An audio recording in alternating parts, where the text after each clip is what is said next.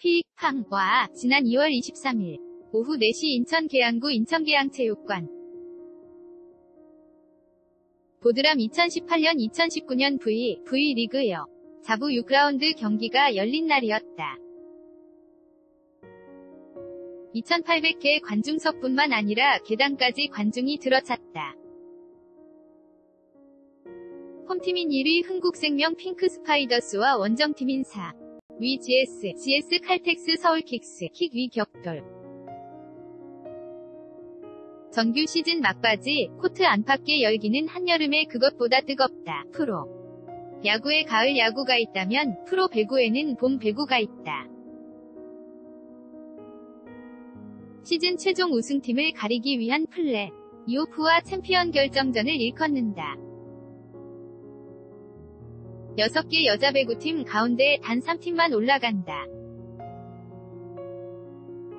상위권 싸움은 시즌 후반기까지 이어졌다. 치열한 경쟁은 여자 배구가 인기몰이하는데 완벽한 도화선이 됐다. 또 화선은 여자 배구 시즌 막바지까지 타들어가다 드디어 폭발했다. 매진 기록이 이어졌고 중계 시청률도 솟았다.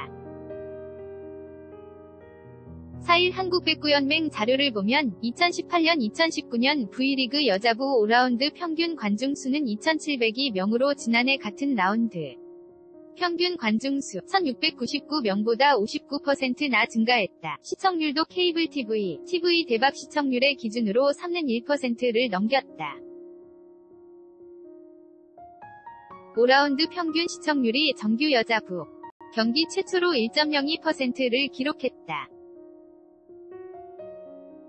여자 배구 인기를 반영해 경기운, 명방침까지 변경한 덕이다. V리그는 올해 처음으로 평일 여자부 경기 시 작시각을 오후 4시에서 저녁 7시로 옮겼다. 주말만 배구장을 찾던 이들에게 즐거운 소식이었다. 여자 배구의 폭발적인 인기는 우연이 아닌 다. 양한 요소의 화학 작용이 일어난 결과다. 최고의 인기를 누리고 있는 배구의 황제 김연경 선수의 등장, 이어지는 신진 스타 선수들의 탄생은 빼놓을 수 없는 인기 요소다. 아이돌 못지않은 인기를 누리는 선수가 여럿이다. 배구 팬은 연령도 불문이다. 23일 인천계 양체육관에서 만난 김태연, 10일 어린이는 제일 힘든 수비를 하는 흥국생명 김혜란 선수의 팬이다.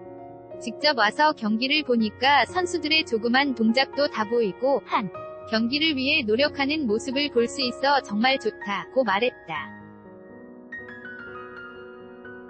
한순간도 눈을 떼놓을 수 없을 정도로 흥미로운 여자 배구 경기 내용은 배구 덕후들을 끌어모은다. 여배 덕후, 여자 배구 마니아를 자처하는 서가묵의 29시는 배구에는 랠리, 네트, 를 사이에 두고 양편의 타구가 이어지는 일가 있는데 여자 배구는 이 부분이 제일 재미있다. 상대가 아무리 세게 때려도 계속 공을 주워 올려서 다시 공격한다. 고 설명했다. 미디어 등을 통해 일반적으로 굳어진 여성상이 아닌 강한 여성 위면모를 제대로 보여준다는 점도 매력적이다. 여자 배구의 매력은 아기자기한 플레이에 있다는 세간의 평가를 반박하는 팬들도 많다. 강송희, 23씨는 미디어에 노출된 여성 대부분은 수동적이고 예뻐야 하는 존재다.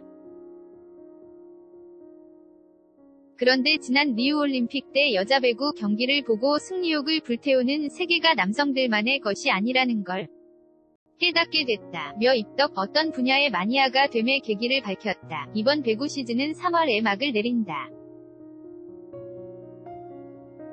그러나 여자 배구 축제는 이어진다.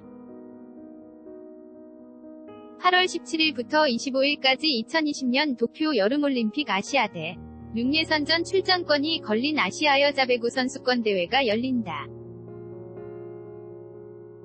가장 반가운 건 사상 최초로 한국에 서희 대회가 열린다는 소식이다.